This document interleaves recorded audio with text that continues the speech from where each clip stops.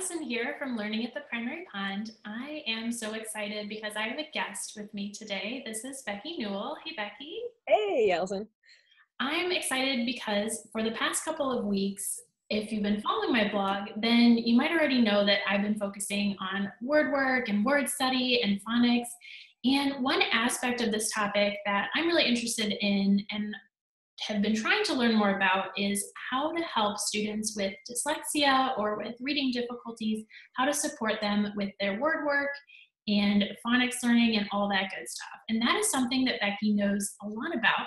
So, very happy to bring her on so that she can share her expertise with all of us. So, thank you for being here, Becky. Well, thank you so much for having me, Allison. I really appreciate it. Um, and I'm so excited. I love this topic and I love talking about it. So, I'm excited.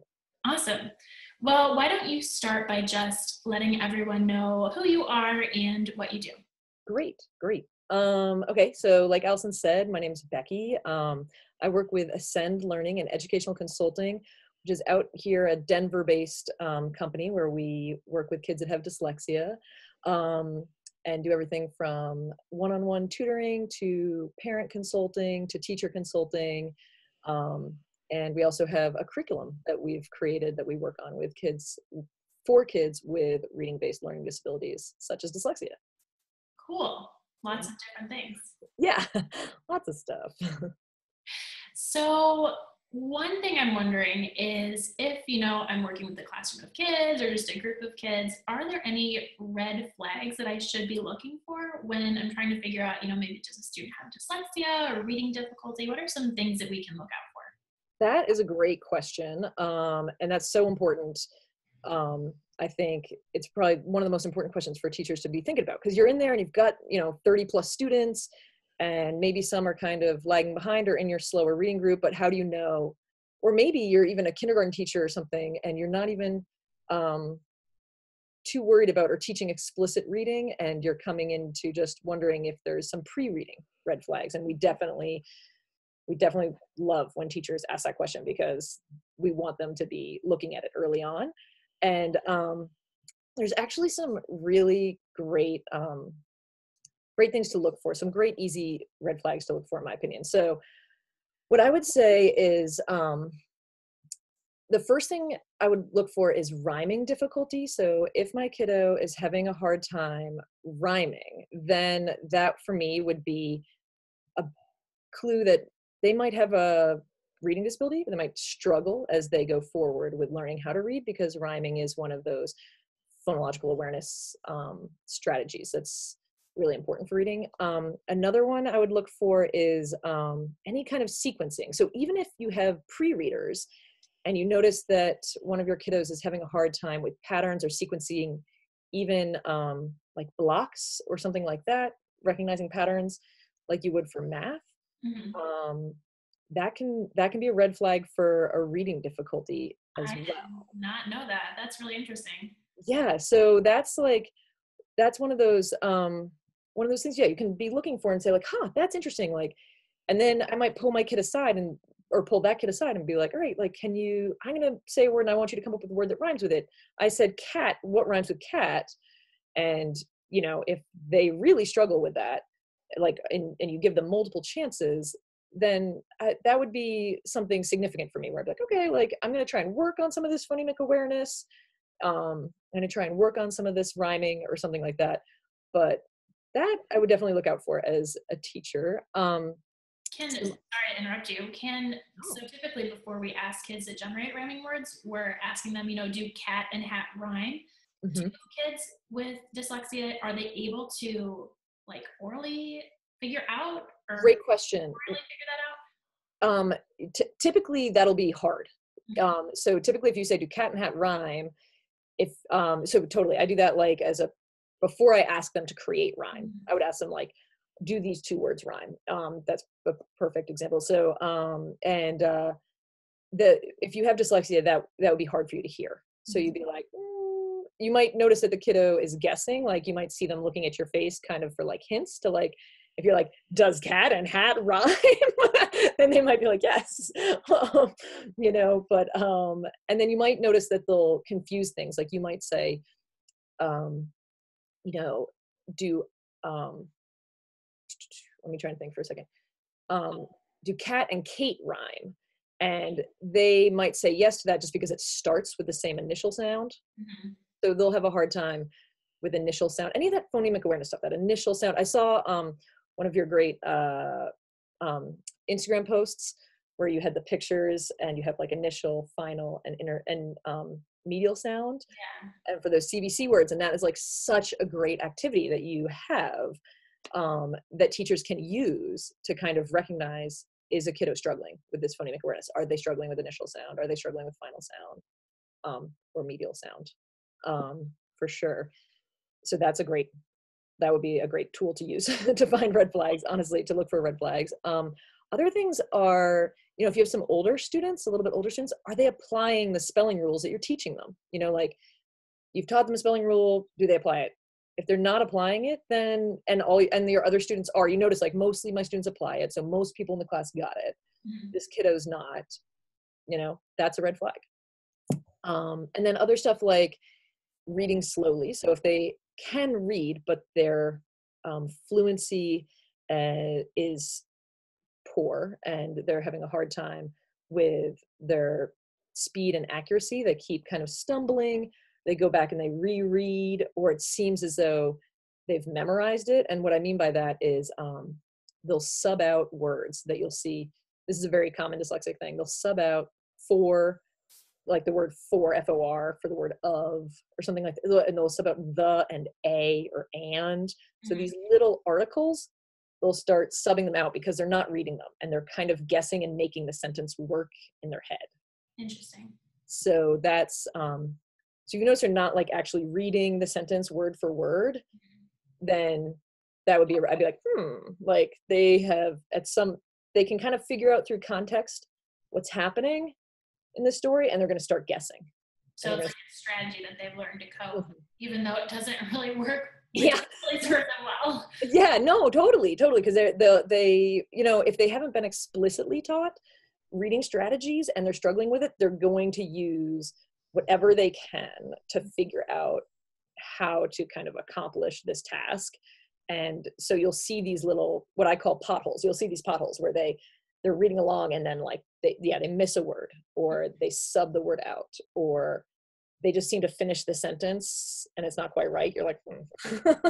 that's weird um so those are things to look for um and um the other thing i would think of um you know is like around vocabulary is students like uh struggling to define words where it always seems like it's on the tip of their tongue and they're just kind of like all right uh they're subbing out you know other words you know synonyms and stuff like that but they're having a hard time actually kind of grasping. Producing the vocabulary too, right? yes. Yeah exactly. That's yeah thank you. Um, so those are some different red flags. Um, in fact my um, colleague just wrote a, a blog post about red flags so um, that's something to think about in terms of like um, they can go over there and check that teachers can go over there and check that out and we have a free resource for that that i can link you to at the end Awesome. We will definitely put that in the blog post under this video. Awesome. Thanks. Yeah. So, keeping with their focus on word work and phonics instruction, when you have a struggling reader or a child who has dyslexia, what should effective word work instruction look like for those kiddos? That's a great question. So, um, when I think about effective instruction, I really do, um, you know, Orton Gillingham would be kind of like the big um, umbrella um, category for how to teach kids with dyslexia or reading based learning disabilities. And the basis behind um, effective reading instruction um, through Orton Gillingham would be that it is structured. So that means that there's, you know, an order in which you're teaching it. So when you're working with a kiddo um, with a reading based learning disability or dyslexia, you really want to make sure that you're teaching them the easiest stuff first and then increasingly getting more difficult. And so, um, so that they can always have that um, foundation that they're building on and they can come back to and you're going to always be kind of repeating back some of that foundational easier level stuff and then build on top of that. Instead of just bringing in all sorts of different random pieces of reading instruction you really want it to be sequential and structured so that they can follow the patterns and understand that the patterns are building on each other and not and not feel like it's completely random. Because for a kid with dyslexia reading and letters and language feels completely random. So you're trying to kind of show them through explicit instruction that there is a method to this crazy language and that there's um and that there's you know there there is sense to it. Like as difficult as the english language is there is a lot of logical sense to it. And if you can really break it apart into its pieces and teach a kid that they're going to be much more successful when reading and they're going to feel a lot more successful um, because they can't see those patterns themselves whereas a non-dyslexic reader is going to pick up on those patterns just kind of intuitively a dyslexic will not pick up on those patterns yeah um, so yeah so it's that explicit um, instruction it's that um, so you're explicitly teaching them the rules. You're not asking them to just notice the rules or just get it through osmosis. Like, so when I teach a lesson, I say, you know, today we're going to talk about closed syllables. A closed syllable ends in a consonant and the vowel makes it short vowel sound. Repeat that back to me. What is a closed syllable? So it's very explicit instruction and then it's also sequential in that it starts out easy and gets more difficult and then other pieces that um, are important are multisensory, so bringing in more senses, which can look like a lot of things. We can kind of talk about that. Um, it doesn't have to look like shaving cream and Play-Doh and sand trays if you don't have that. It can be much more simple than that. Yeah. Um, and still be multisensory. Um, and so that's kind of, I feel like the nuts and bolts of a really like effective word work is really explicit instruction and then keeping it structured. Cool. And as we talked about earlier, what I told Becky before we started the recording here was just that that to me sounds like effective instruction for all kids. So, yes, definitely. And it is. And that's what we like to say. We like to say, this is a way you can teach 100% of kids to learn how to read, or whole language teaches 80% of kids to learn how to read. So, I, want to be 100% personally. yeah. It's a, so yeah, so teach phonics. okay, so when um, you kind of mentioned this earlier with the syllable types, but something that I think I, I am positive that I didn't learn this in undergrad, or at least if I did, I completely forgot it. But something that I think a lot of teachers are never taught is that there are six syllable types in the English language, correct? That's correct, and you're absolutely right. You, I'm, I feel fairly certain you did not learn it in undergrad. I don't feel like anyone does. In fact, I feel like teachers have to seek it out, and it's generally some sort of Orton Gillingham training when they learn that there's six syllable types to the English language, and that's that's the foundation to all of our words. And so that's that's how we teach struggling readers. We teach them very explicitly.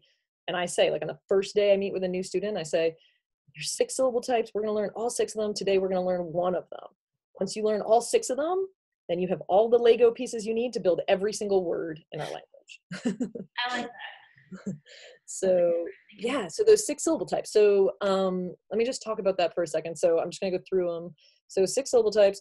So the first one is closed syllables. So um, that's kind of your simplest syllable type, um, where you have the short vowel sound um, and it ends in a consonant. So any word that ends, any one syllable, sorry, not word, but one syllable mm-hmm. that ends in a consonant, like the word it would be an example, ends in a consonant, the t, the t saying t, and the vowel is making it short vowel sound. It's saying it. Um, same with word cat. So it can be a bigger word because also words like um, flick or um, peck, where it ends in two consonants, mm-hmm. that's also a closed syllable. So ends in a consonant, one or two or more, and the vowels making it short vowel sound, that ah or i or eh um, sound. And then, so that's our closed syllables. Then the next syllable type would be open syllables. So that's ends in a vowel. So ends in A, E, I, O, U, or Y, and the vowel says its name. So that'd be like a word like me. So ends in the letter E, and the E says E, me. um, then we've got our bossy R, or our R controlled syllables. So those are syllables that have a vowel followed by the letter R. So A R, E R, I R, U R, O R. Um, and that just means that the R is controlling the vowel sound. So AR says R, and then IR, ER, and UR all say er, and then OR says or. Um, so that's R control. Are the are the words that have sorry to interrupt you? Are the words that have like A R E that falls into that category as well, or no? Okay, like the word R, A R E, Um, or are you thinking like um? care. The word cares. Ah, no, great question. So care doesn't. So very good. Okay, so so what we're looking for, this is a great question. So what we're really looking for when we're thinking about syllables is the vowel sound. So in a bossy R syllable or an R controlled syllable, the vowel is being controlled by the R. And so you're getting that R sound, like AR says R, like in car. Um, in the word care, that's our next syllable type, that's going to be the silent E syllable type or magic E, depending on how you want to teach it. Doesn't make a difference to me. Um, magic E, silent E. And so that's the E at the end. So if you get that vowel consonant E pattern. So one consonant followed by that E, it comes back, it makes the vowel say it's long sound. So that is tricky where you come across, and that when you're teaching kids, they're going to be like, wait, it says AR. Mhm. And you're like, okay, so the tricky part about magic E or silent E is that the kiddo has to be looking ahead. Um, you know, they have to go beyond just their reading, you know, they're sounding out the words in order. They have to go beyond to see is there a magic E that's affecting this vowel. So that's a really tricky part. And I find that magic E or silent E is one of the hardest syllable types for kids to grasp because that jumping ahead is very hard Yeah, definitely. um, to understand. Um, so then, um, so we have closed, open, bossy R, magic E, silent E. Um, then we also have our consonant LE syllable type. So that's, or final stable syllable, sometimes people call it. Mhm. Um, so that's any word that ends in consonant LE. So you have kids look for words that are ending in E and then jump back through. Do they have an L and a consonant, any consonant? And then you're talking about how that's actually a two syllable word and that consonant LE is the second syllable. So like in, well, whistle is kind of a little bit of an exception because that STLE, but you know, table is a good example where you get that BLE. Um, and then the last one, though usually I teach consonant LE last, but it doesn't really matter. Um, the last one is vowel teams. So two vowels that work together as a team. So any of those E E, E A, A I, and that's your biggest syllable type. It has the most Mhm. variation in it because there's a lot of Yes. vowel teams and i still I, I teach each and every one of those vowel teams explicitly so i'll say today we're going to learn about this vowel team it's the ai vowel team a and i work together they make this sound um, what sound does ai make and i have them repeat it back to me and so it's that explicit and then that you know i wouldn't teach vowel teams before i teach closed because closed is simpler does that make sense Yes, absolutely. so those are your six syllable types Cool. That's so. That's really the basis. I would say that's the the real that's the foundation of teaching kids with a learning disability how to read. It's understanding those six and then building off of that. Awesome. So something that I kind of wanted to point out that I noticed you doing is when we say the letter sounds, um, we try to clip them. Yes. You know what I'm talking about? Yes. So not having the schwa sound at the end of a yes. So when Becky was saying the letter sounds, sometimes I find myself just out of habit, instead of saying mm for the letter M, sometimes kids or teachers can accidentally say m, right? Perfect. Yes. And you know, I still do that as long as I've been doing this. I still sometimes add that Yeah. what's called a schwa, that uh sound to the end of a consonant instead of clipping it, like you said. Yes. So you want to be very cognizant of that when you're working with dyslexic kids, because if you have a kiddo who's you're teaching the rules explicitly, they're working really hard, and you say k, a, t, they're going to spell it c u a t u or something like that. You know, Yeah. they're gonna they're gonna add that uh sound in there. Yeah, Yeah, that's a great point. Thanks for pointing that out. Yeah, of course. So, what are some activities that you found are super effective um, when you're working on phonics or word work with those struggling readers or kiddos with dyslexia?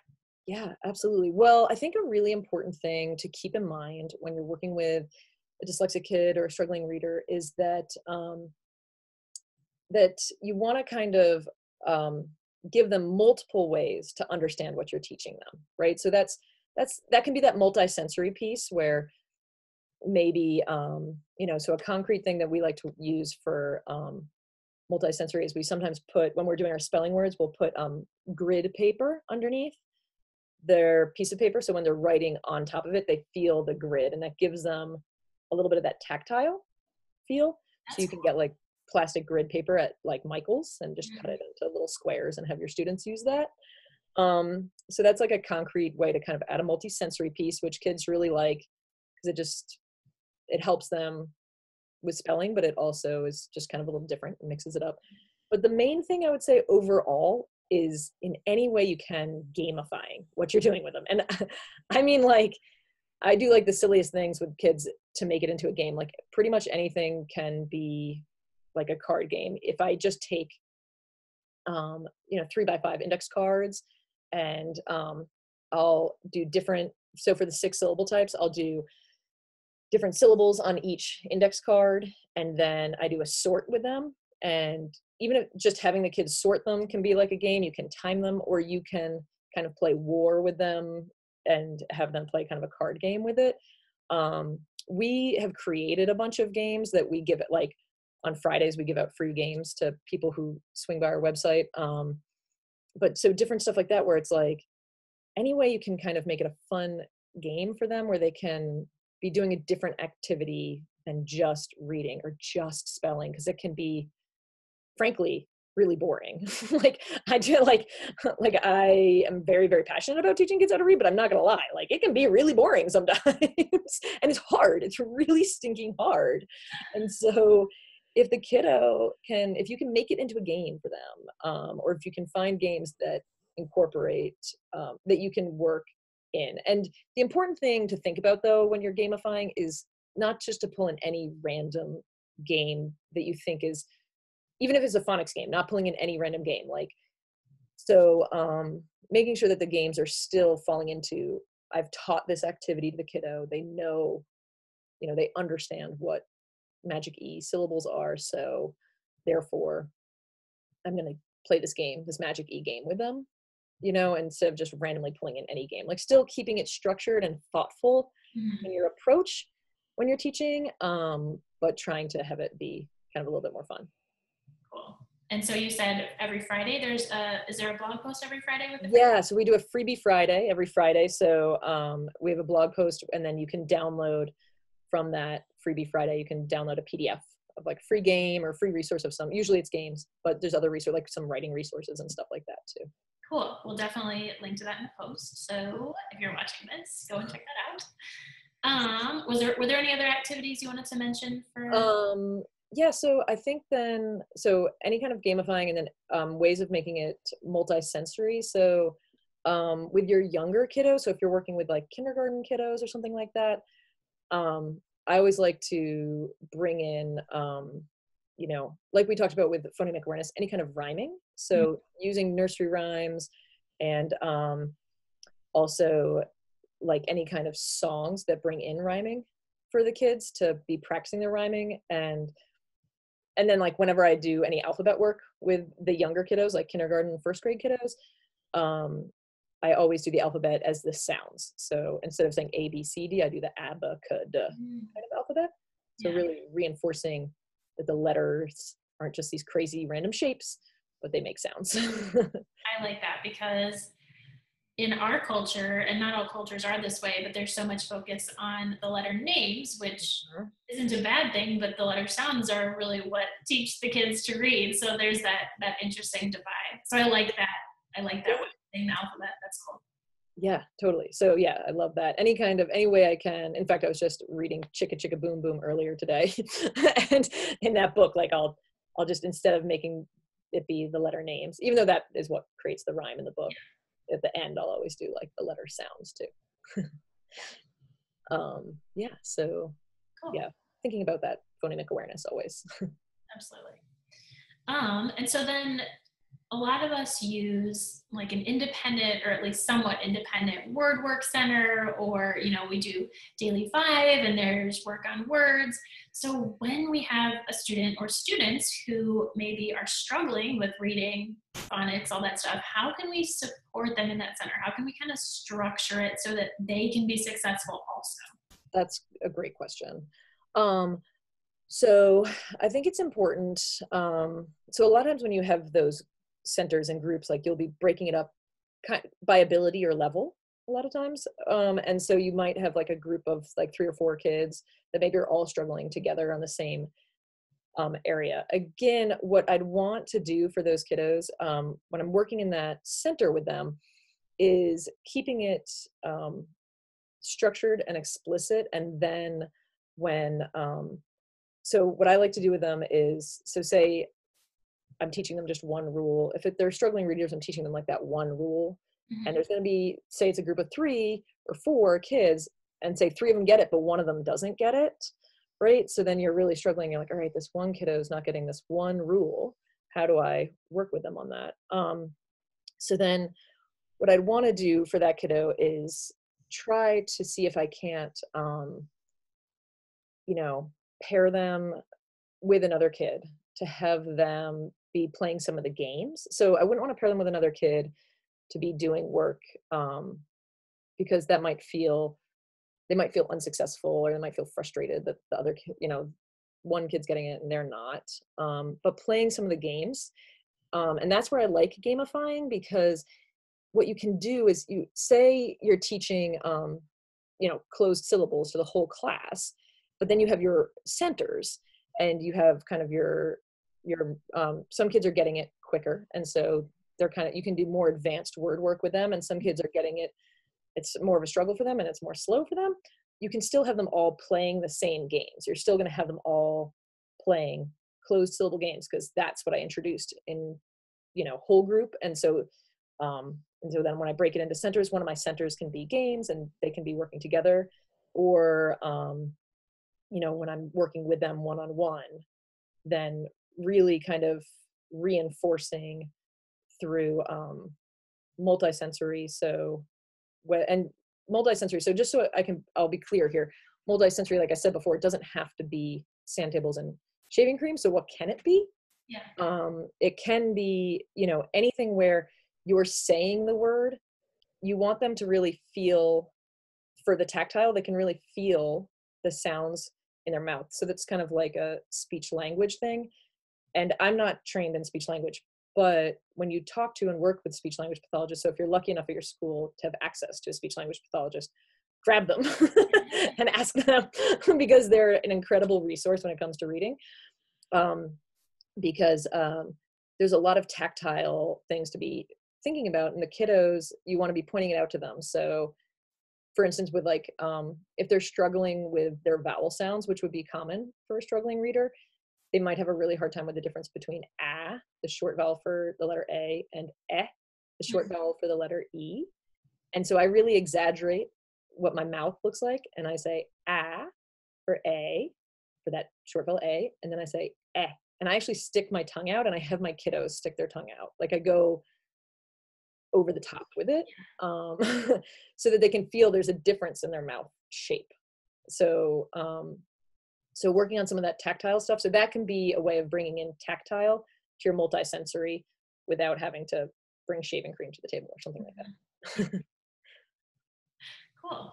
Um, anything else you wanted to mention about the Word Work Center or independent work when they're on their own? Um, oh, independent work when they're on their own. I would say for independent work when they're on their own, checking checking in on them or pairing them with somebody if you can. I know this is really hard for teachers in the classroom. I know when I was working in the classroom how hard it was to do this, but if you can pair them up or have them work with someone that's feeling like confident in it, mm-hmm. um, I always feel like that's helpful for the independent work because otherwise, a lot of our kiddos with dyslexia or struggling readers are just going to kind of do something else or check out or not not really be engaged because it's hard when it's not making sense to you it's hard to be engaged um so they, they really benefit from that so. yeah partner if you're not able to like directly be with them. Yeah, if you can't be directly with them as a teacher, which I totally understand is absolutely how it is. It's not one-on-one tutoring like what I'm used to doing. So um so getting that and um but also just being able to kind of check in with them and um you know have them come to you to ask you questions if like you're at your desk or something like that and you have them working independently and also just kind of keeping that eye on those ones that have those red flags and just going in hey you know checking in like do you need help with the sounds? Like are like and trying to figure out like where is it that they're struggling and can you kind of pinpoint that one thing that they need work on that day. Right. Awesome all right. Well, that's pretty much all we have, unless there's anything else you wanted to add. Um, no, I think that's I think that's it. awesome. well, thank you so much for being here. I absolutely appreciate you coming and sharing your knowledge with all of us. And then, if any of the readers want to connect with you, where is a good place to do that?